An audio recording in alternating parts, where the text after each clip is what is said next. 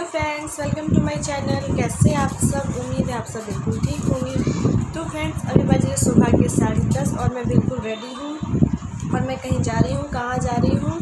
तो आज मैं जा रही हूँ अपनी बेटी के स्कूल। स्कूल जा रही हूँ, आज उसका है रिज़ल्ट तो रिज़ल्ट लाने जाना है मुझे और एक और भी काम है। तो चलती हूँ स्कूल और यहाँ पर मेरे बच्चे भी बैठे हुए हैं। तो बाबू तो मैं आज इनको छोड़ के ही जाऊँगी। क्या खा रहा है? चन्ना। चन्ना। चन्ना। तो आज मैं इनको छोड़ के जा रही हूँ। ज़्यादा नहीं स्कूल जो हमारे बहुत पास में दस मिनट लगते हैं। तो बस जाऊँगी तुरंत आ जाऊँगी। तो इसलिए इनको घर पे ही छोड़ के जा रही हूँ। क्योंकि धूप बहुत है तो इनको ले जाना पॉसिबल नहीं है और ये रह लेंगे।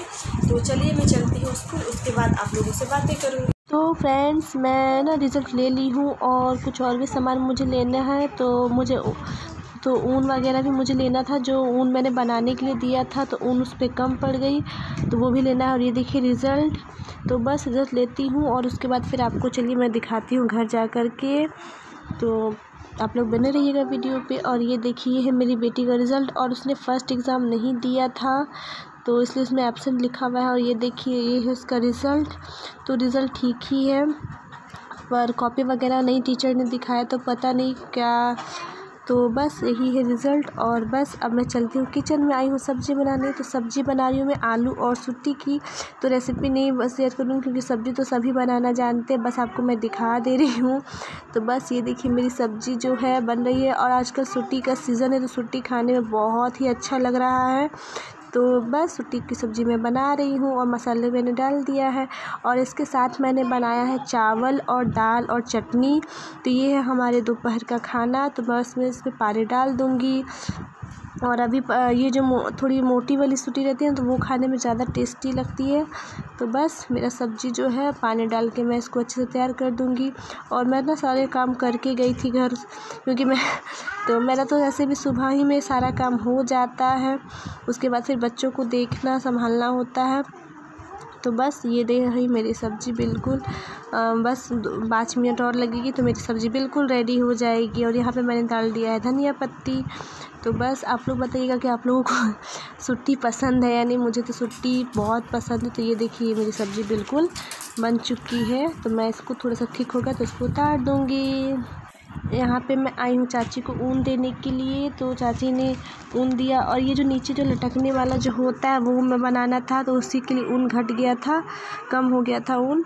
तो बस मैं तो ये चाची जो ये फिर से बनाना स्टार्ट कर दी है तो बस वो बना रही हैं। और ये देखिए, ये बिल्कुल बन कर के रेडी हो चुका और ये देखिए कितना सुंदर लग रहा है। तो बहुत बहुत ही जल्दी चाची ने बना दिया और कितना प्यारा लग रहा है, सच में बहुत अच्छा लग रहा है ये देखने में। मुझे तो सच मुझे मुझे बहुत अच्छा लगा ये। समय है और मैं आ गई हूँ छत पर। तो आप लोगों, बाबू लोग के, अपने बच्चों के बाल भी बाँध दूँगी और आप लोगों से बातें भी करूँगी। तो आज मैं बातें करूँगी आज के समय के बारे में। आज के समय में इतना बदलाव आ गया है कि कोई किसी पे भरोसा कर कर ही नहीं सकता है। क्योंकि अगर हम किसी पे भरोसा करते, वही हमें अक्सर धोखा दे जाते हैं। हमारे आँखों में आँसू दे जाते हैं और कहते हैं कि फिर क्या हुआ? माँ, बाप, भाई, बहन, कोई भी रिश्ता हो, चाहे लेकिन आज सच में कहो, प्यार जैसे लगता है कहीं खो गया है। कोई किसी से प्यार नहीं करता है। सब पैसे के पीछे भागने लगे रिश्तों की तो जैसे कोई अहमियत ही नहीं है। लोग ऐसे हो गए हैं कि लोग अपने माँ बाप को भी नहीं पूछते। फिर बाकी रिश्ते तो बहुत बस नाम के लिए ही रह गए हैं। इसलिए आजकल लोग प्यार भी करते हैं तो उसमें प्यार कम दिखावा ज़्यादा होता है। वो भी सिर्फ़ अपने मतलब के लिए। इसलिए आज हर कोई अपनी पहचान चाहता है, क्योंकि जिसके पास क्योंकि लोग समझ चुके हैं कि इस दुनिया में कोई किसी का नहीं होता। खुद पे भरोसा और अपनी आत्मरक्षा की भावना है तो ये दुनिया आपके लिए है। नहीं तो फिर आप इस दुनिया के से अलग हो जाते हैं। इसलिए इंसान सबसे पहले अपनी कद्र करता है, इंसान अपने आप को अहमियत देता है। क्योंकि अगर आप अपने आप को अहमियत नहीं देते हो, अपने आप के दुख को दुख नहीं समझते हो तो फिर ये दुनिया आपके दुख को नहीं समझेगी। तो इसलिए सबसे पहले हमें अपने दुख को खुद ही समझना चाहिए। अगर आप बीमार है, आप उस पर काम करते जा रहे हो, करते जा रहे हो तो कोई नहीं जानेगा कि आप बीमार हो। क्योंकि आप बीमार हो के आप काम कर रहे हो। तो इसलिए अगर आप बीमार हो तो आपको दिखाना पड़ता है कि आप बीमार हो। वरना ये दुनिया पूछती भी नहीं है। चाहे दुनिया छोड़िए, अपने अपने ही लोग नहीं पूछते। दुनिया तो बहुत दूर के होते हैं। इसलिए अपनी कदर हमें बहुत करनी चाहिए। अपने हक़ के लिए हमें लड़ना चाहिए। क्योंकि अगर हम अपने लिए नहीं आवाज़ उठाते हैं तो ये दुनिया हमें कमज़ोर समझ लेती है। हमें बेवकूफ़ समझती है। तो इसलिए जितना हो सके अपने लिए खड़े होइए, अपने लिए बोलिए। क्योंकि जो लोग नहीं बोलते, उनके साथ बहुत बुरा होता है। पैसे के पीछे इतना भागते हैं, इतना भागते हैं कि जिनके पास पैसा है, उनकी इतनी वाहवाही है कि मत पूछिए। और जिनके पास पैसा नहीं है तो उनको लोग पता नहीं क्या समझते हैं। मैं तो ये समझ नहीं पाती कि जिनके पास पैसे हैं, क्या वो किसी को आके पूछ लेते हैं या फिर किसी को कुछ आके कर देते हैं? फिर भी ये दुनिया बस पैसे जिनके पास है, उनके पीछे बिना बुलाए पहुँच जाएँगे। और जिनके पास पैसे नहीं हैं, उन्हें तो कोई पूछता ही नहीं है।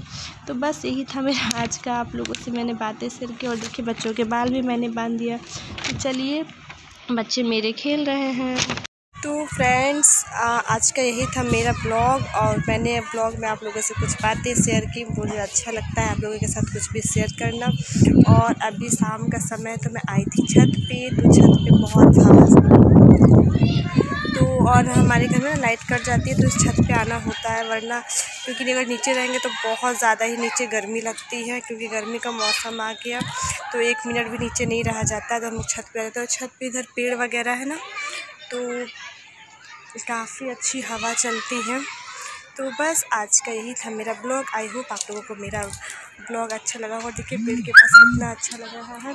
तो चलिए मिलूँगी अपने नेक्स्ट ब्लॉग के साथ। और हाँ अगर ब्लॉग अच्छा लगे तो प्लीज़ वीडियो को लाइक कर दीजिएगा। और अगर आप मेरे चैनल पर नहीं हो तो प्लीज़ चैनल को सब्सक्राइब कर दीजिएगा। तो चलिए मिलती हूँ नेक्स्ट ब्लॉग के साथ। और हाँ आपकी भी कुछ अगर राय है तो प्लीज़ मेरे साथ शेयर कर दीजिएगा। तो चलिए मिलूँगी नेक्स्ट ब्लॉग के साथ।